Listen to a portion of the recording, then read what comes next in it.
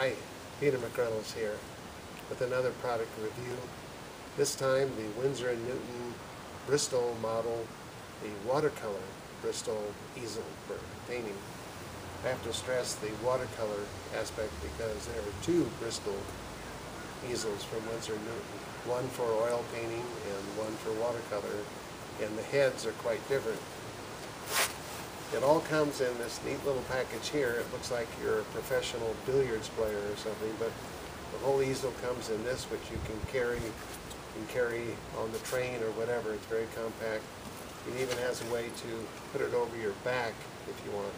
So you can certainly carry it in the field. It's all packed in here. It's very, um, you can fold it up very small. Here I've taken it out, and you can see that it's the three-legged tripod kind of design. There's three legs, and they're telescoping legs just like a camera tripod. And you, they have these little switches, little locks, and you can unlock things and pull things out. Here I pulled the rubber feet off, but that's okay. And so you can see that they can become quite tall. Let's start with it in its shortest incarnation, because maybe you're a person who wants to uh, do watercolor sketching while sitting. That's entirely possible. There are three legs, and they don't play the same role. The back leg hikes back, and there's this piece of aluminum that comes with it, and you can see that what it does is to control the spread of the legs, which makes it extra sturdy.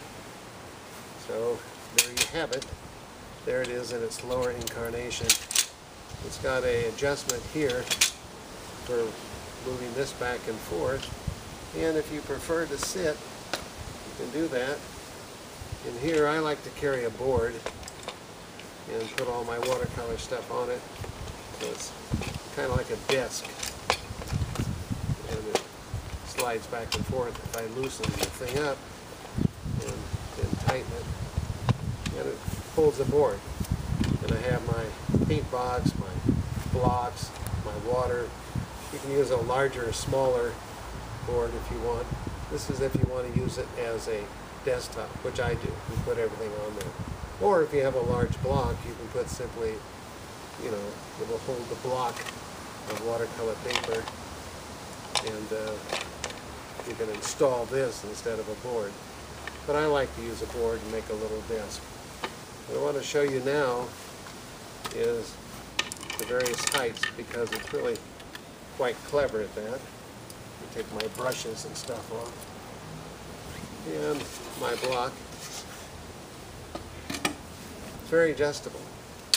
So I actually do not like to paint while sitting, but some people do. There's another recommended way to paint, which is to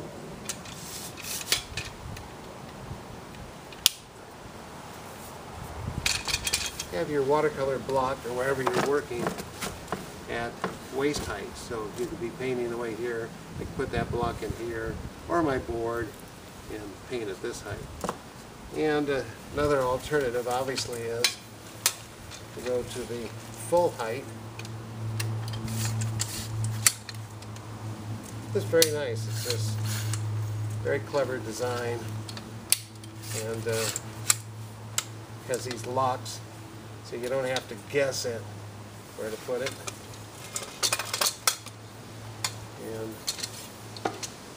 I can't imagine but that you would be more adept at these things than I am, but even a person like myself can handle the Winsor Newton Bristol watercolor easel. It's this part up here that makes it a watercolor easel. It's got a hook off here where you can hang your water bucket. It's on the same piece of aluminum that controls the spread of these front two legs.